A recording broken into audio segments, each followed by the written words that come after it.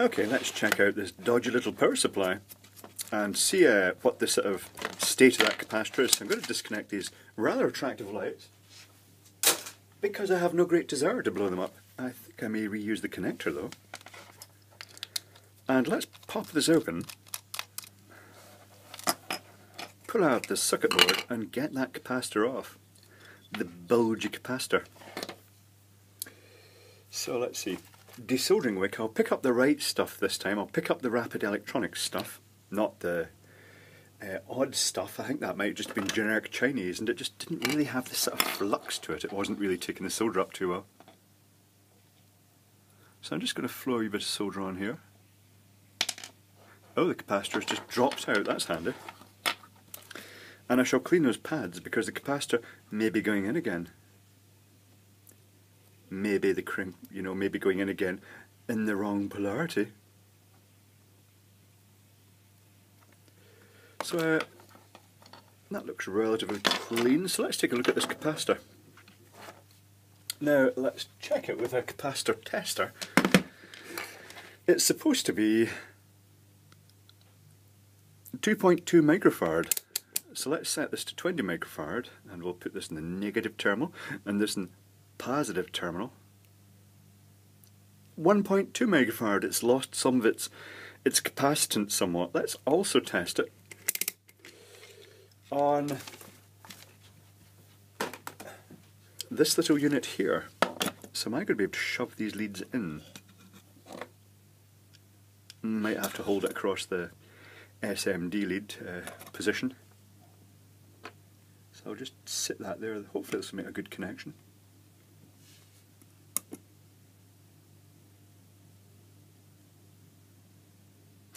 It says 1.8000 uh, nanofarad, so 1.8 microfarad, but it's showing the equivalent series resistance as 81 ohms, which is quite high. This is a generic little tester off eBay, by the way. Um, it's just a component tester. There's a newer version of it that's even got an even bigger display and does even more uh, analytics. It's very impressive, actually. It works quite well. Hmm. So uh, I shall put this out of the way at the moment. And maybe we should just stick this capacitor in the other way around. Do you think it would work better the other way around? So there's the positive there, so we'll stick the, the band over that side. I'm sure that there's no harm in doing this, it's probably quite normal procedure.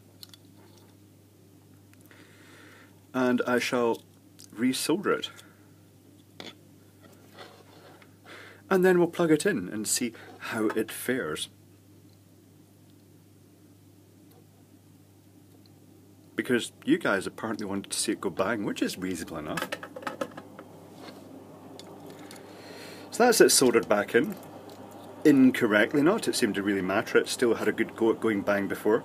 I'll tweak this LED, no I won't actually, I'll leave the LED back a bit just in case smoke does come out, because that will give it somewhere to go. The LED hole, just like it did before. Uh, and we'll set this down. Part of me is tempted to leave the case kind of uh, partially unscrewed or just unscrewed completely. But that would kind of take the fun out of it. I, want to see what actually happens when it really brews up inside. So let's get that back in. And we'll clip that back on.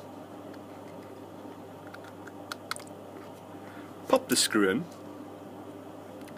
And this socket here, with this dodgy adapter, is not live yet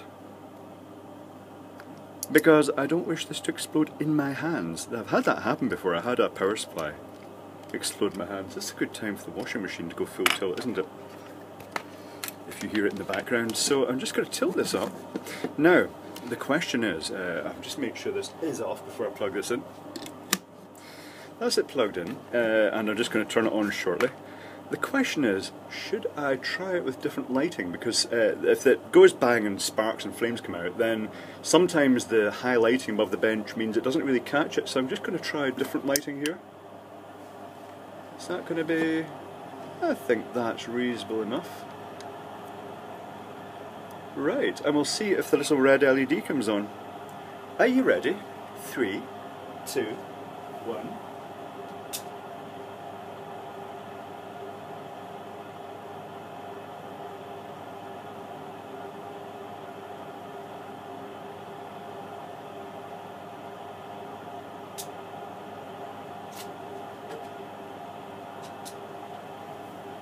That was rubbish.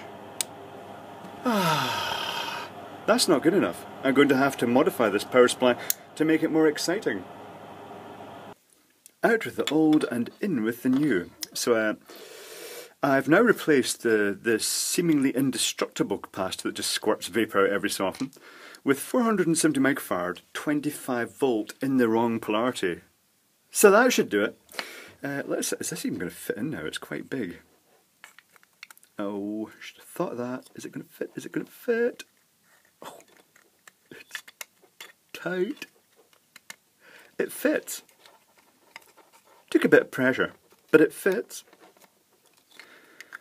Uh, so we'll just pop that up and I'll probably leave the light on at full intensity though the lights may go out if it takes out the main fuse. Who knows? I don't know what's going to happen, but it might be quite loud. Ooh, exciting. So yes, uh, checking the power is off before I plug it in. Yes it is. Uh, let's uh, just pop that up here, plug the power supply in, and let's put this to the test. Uh, is this actually going to shop under this lighting? Should I put it over here a bit? Is it going to be, is it going to really? Stay. Or would it be better with this lighting? I'm just trying to see what's uh, looking the best here. Yeah, you know what? Let's, uh, I think like that. I think like that should be just fine. Okay, let's put that to the test. Three, two, one. Oh! Oh, I think my Christmas lights have stopped working. It smells terrible. And the case is uh, apparently tried to open itself and there's smoke coming out of it. Can you see the smoke? Magic Christmas smoke.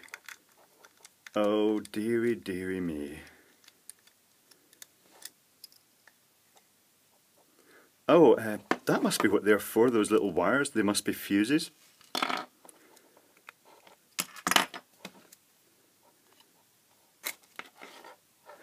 Oh, oh, oh, it's gone all black and sooty. Oh dear. Uh, I wonder if I can repair that.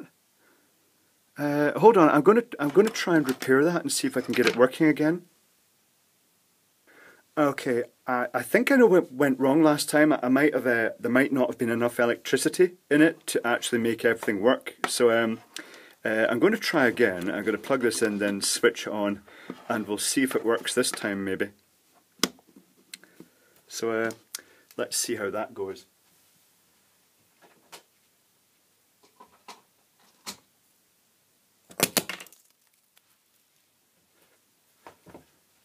Oh! Well, that just shows you how dangerous that Chinese shit is.